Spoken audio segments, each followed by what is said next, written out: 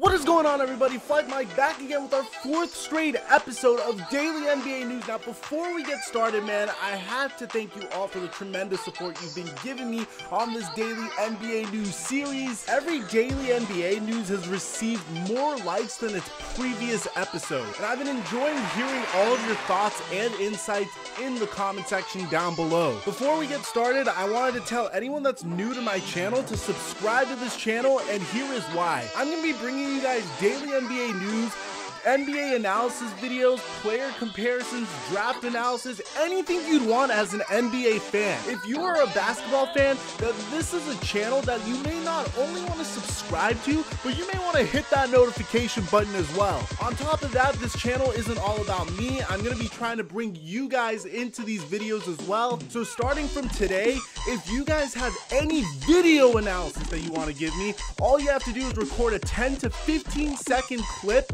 on any move that I'm making and send it to me on Twitter and you may be in the very next episode or any future episode of my daily NBA news videos, just like my buddy Arash has been in the past two episodes. And if you're already subscribed and you really want to give me even more support, be sure to hit that notification button, follow me on Twitter, Snapchat, or Instagram to stay connected. And without further ado, we got a lot of news to get to today, bro. So let's start off with some LeBron James news. Robert Horry says that LeBron James doesn't need more titles to top Michael Jordan. We all know that there's been a crazy Michael Jordan versus LeBron James debate going on. Michael Jordan has the hardware as a team player with six championship rings, whereas LeBron James has so many individual accomplishments, eight NBA Finals appearances, but not nearly as much success as Michael Jordan has had as a team player. The latest to add to the debate is Robert Horry, who says LeBron James doesn't need more titles to top Michael Jordan.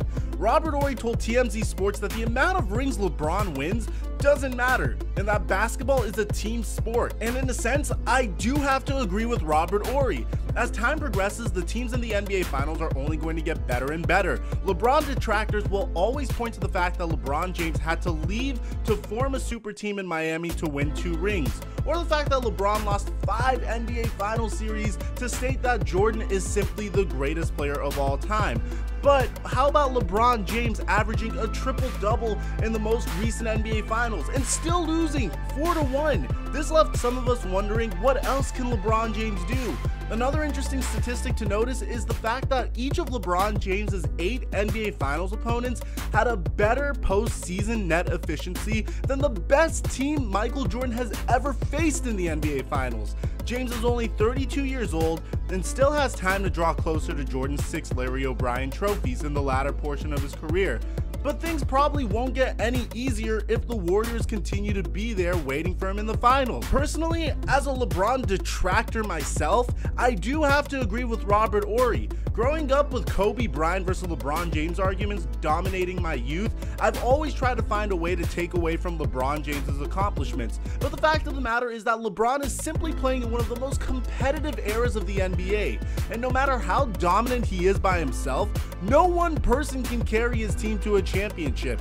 And it would be unfair to LeBron to say that Jordan is simply better because he has more championships. So in a sense, I do have to agree with Robert Horry, but I know that this is a very hot topic and a very controversial topic at that as well. So what are your guys' take on this? If you think I'm wrong, tell me why, because I would love to see your guys' perspective.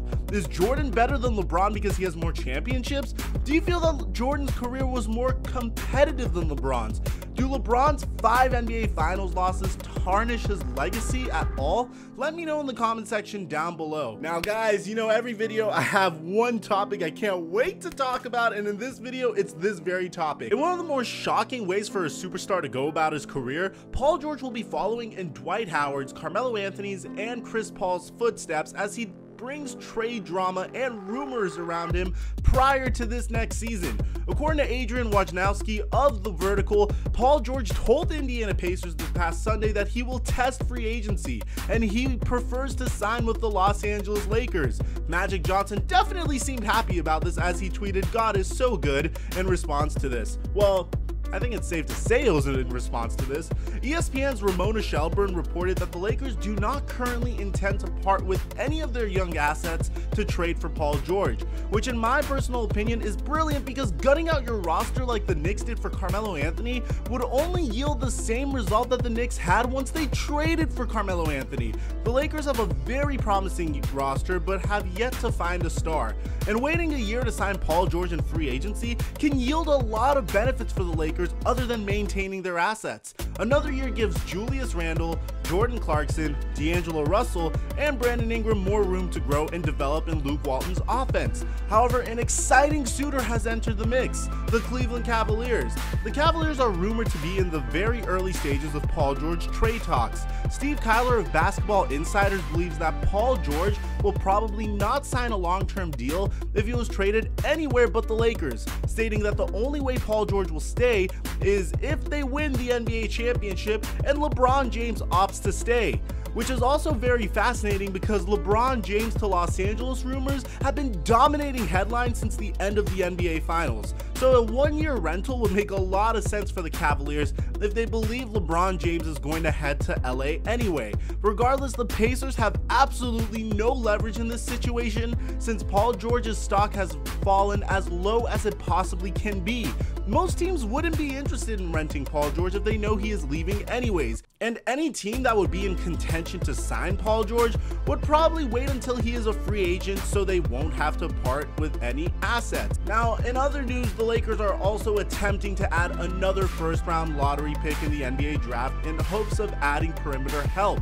Ramona Shelburne reported that the Lakers have engaged with two teams ahead of Thursday's draft.